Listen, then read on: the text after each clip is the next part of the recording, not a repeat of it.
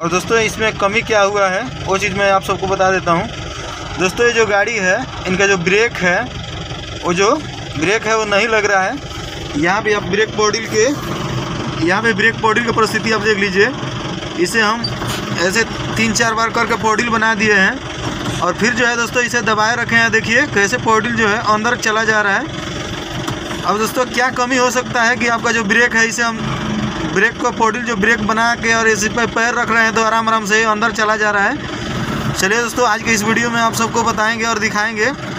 यहाँ पर देख लीजिए कैसे हम पॉडिल को दबाए हैं और बिल्कुल अंदर आराम आराम से चला जा रहा है दोस्तों। दोस्तों, इसमें होता क्या है, जब भी मान लीजिए कि हम कहीं चढ़ाई के ऊपर चढ़े हुए हैं और वहाँ पे रुके हुए हैं, ब्रेक को दबाए हैं बॉडी जो है आराम आराम से बिल्कुल अंदर चला गया और गाड़ी जो है ढुलने लगता है। क्या कमी होता है, चलिए आज के इस वीडियो में हम आप सबको दिखाएँगे। दोस्तों, इस गाड़ी का जो पॉडिल जो है, बैठ जा रहा था। आखिर कमी क्या हो सकता है कि जो पॉडिल है, बिल्कुल बैठ जा रहा था।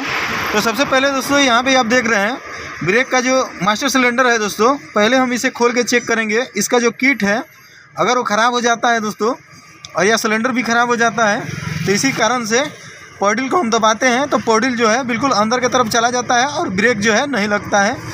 ऐसे दो तीन बार दाबते हैं तो पॉडिल ऊपर आ जाएगा। पर जैसे उसे दबा के रखेंगे तो फिर पॉडिल आराम आराम से अंदर की तरफ़ चला जाएगा। तो पहले हम इसे एक बार खोल के और इसका किट का परिस्थिति देखते हैं कि क्या परिस्थिति है किट का। ये दोस्तों, इसे हम खोल के बाहर निकाल लिए हैं मास्टर सिलेंडर को। और इसे निकालने के बाद इसका जो किट है, उसे हम पहले निकाल रहे हैं। यहाँ पर आप देख लीजिए, किट का परिस्थिति अभी हम देखेंगे क्या है।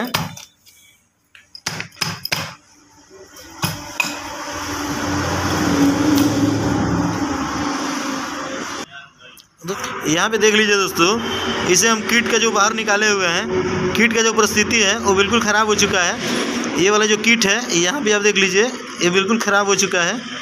यहाँ देख रहे हैं आप, ये बिल्कुल कट गया है। इसी कारण दोस्तों, जब भी हम ब्रेक को दबा रहे थे तो पॉडिल जो है, अंदर की तरफ़ चला जाता था। तेल के जब दोस्तों कीट कट जाता है तो तेल का प्रेशर जो है, पीछे की तरफ़ लीक हो जाता है और उसी के कारण जो है, पॉडिल बैठने लगता है। यहाँ पर जो कीट है, यहाँ पीछे से आप देख लीजिए, ये बिल्कुल ख़राब हो चुके हैं। किट जो है बिल्कुल पतला हो चुका है, कमज़ोर हो गया है। तो इसी कारण दोस्तों प्रेशर नहीं बना रहा था। अब चलिए इसे सफ़ाई करवाते हैं। फिर दोस्तों नए वाले को फिटिंग करेंगे, उस चीज़ के बारे में मैं आप सबको दिखाऊँगा। देख लीजिए दोस्तों, इन्हें खोल के हम बिल्कुल सफ़ाई वफाई कर लिए हैं धो धा के और फिर जो सिलेंडर का जो अंदर जो मशे सिलेंडर है, इसके अंदर भी मैं आप सबको दिखा देता हूँ। इसका जो बोर है, वो बिल्कुल फिनिशिंग है, ख़राब नहीं हुए हैं। यहाँ देख लीजिए अंदर में आप। देख लीजिए पूरा जो है। बिल्कुल क्लियर है दोस्तों, ख़राब नहीं हुआ है। नहीं तो इसके अंदर क्या होता है, कट जाता है तो फिर जो किट है जल्दी जल्दी ख़राब होने लगता है। अब चलिए, यहाँ पे देख लीजिए इन्हें सब हम धो धा के क्लीन किए हुए हैं। अब दोस्तों, इसके अंदर हम किट को फिटिंग करने जा रहे हैं। यहाँ पर आप देख लीजिए टीवीएस कंपनी का जो है किट लेके आए हुए हैं। अब इसके अंदर हम फिटिंग करने जा रहे हैं। तो कैसे किट को फिटिंग करना है, चलिए उस चीज़ के बारे में मैं आप सबको दिखा रहा हूँ और बता रहा हूँ दोस्तों। तो दोस्तों, ये वाला जो किट है, यहाँ पे आप देख लीजिए, पहले हम इस वाले पिस्टन के अंदर फिटिंग करने जा रहे हैं। तो जब से हम किट को फिटिंग करेंगे तो पहले पतला वाला जो वाशर है, इसको हम पहले इसके अंदर बैठा लेंगे। उसके बाद दोस्तों, इस किट को बैठा लेंगे। यहाँ पे देख लीजिए किट को हम बैठा दिए हैं। उसके बाद दोस्तों, ये जो जाली वाला जो वाशर आपको दिख रहा है, इसके बाद हम इससे लगा लेंगे। उसके बाद दोस्तों, ये वाला जो स्प्रिंग है, इसको हम इसमें बैठा देंगे। दूसरा रह गया दोस्तों, इसमें एक और बॉकेट लगता है, उसको हम पीछे की तरफ़ करके और ऐसे करके दूसरे वाला किट को बैठा लेंगे इसमें। यहाँ पे आप देख लीजिए, इसका जो है, आगे वाला टॉप जो पोजीशन है, वो इस साइड का है और इस वाले को इस साइड की तरफ़ है। क्योंकि दोस्तों, ये पीछे से दूसरा वाला जो पिस्टन रहता है, उसका जो तेल का प्रेशर है, उसे इस तरफ़ रोक के रखता है। इसीलिए एक जो बॉकेट है, एक दूसरा वाला जो रिंग है दोस्तों, उसके हम पीछे की तरफ़ घुमा के रखते हैं। और आगे का जो फ्रंट वाला है, उसे आगे की तरफ़ रखते हैं। नहीं तो दोस्तों, क्या होता है, जब हम दूसरा वाला पिस्टन को लगाएँगे तो ये जो तेल का जो प्रेशर है, वो डायरेक्टली आगे की तरफ़ चला जाएगा। इसलिए एक और रिंग लगाया गया है, दूसरा वाला, वो पीछे वाले को पीछे की तरफ़ घुमाया गया है। अब चलिए, इसके अंदर कैसे बैठाया जाता है, उस चीज़ के बारे में मैं आप सबको दिखाता हूँ। इसके अंदर भी पहले हम इसे लगा लेंगे वाशर को, पतली वाले वाशर को। फिर जो है दोस्तों, इसमें कीट को बैठा देंगे। और दूसरा, इस वाली जाली को बैठाएँगे। और फिर जो है दोस्तों, इसके ऊपर ये वाली स्प्रिंग लगा के, और इसमें दोस्तों, इसे इससे पेज से टाइट किया जाता है। अभी यहाँ पे देख लीजिए, दोनों पिस्टन के अंदर हम किट को बिल्कुल फिटिंग कर दिए हैं। अब दोस्तों, इसे सिलेंडर को अंदर फिटिंग करने जा रहे हैं।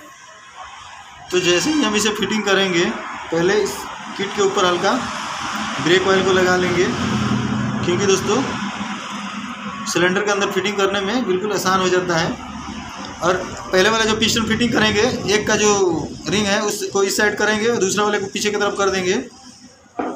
अब चलिए। इसमें यहाँ भी आप देख लीजिए। पहले इस वाले को हम, पहले इसके अंदर बैठाएँगे।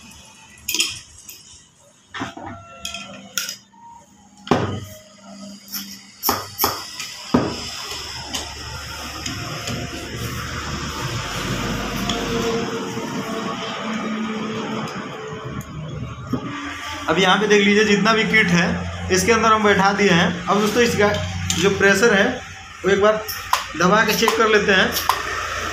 अब चलिए दोस्तों, इसे हम गाड़ी के अंदर फिटिंग करते हैं। फिर जो दोस्तों गाड़ी को स्टार्ट करके और फिर इसे पॉडल को चेक करके दिखाते हैं कि जो पॉडल पहले बैठ रहा था, वो बैठ रहा है कि नहीं बैठ लीजिए दोस्तों, इन्हें हम गाड़ी के अंदर लिया कर फिटिंग कर दिए हैं। और इसके अंदर दोस्तों ब्रेक ऑयल को हम डाल दिए हैं।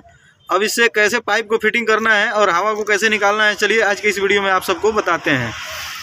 तो दोस्तों, जब भी हम ब्रेक वाइल इसके अंदर डाल लेंगे तो यहाँ पे दोनों जो पाइप हम टाइट करते हैं, पहले इसे हम दबा के रखेंगे दोनों हाथ से। चलो भैया, दबाओ।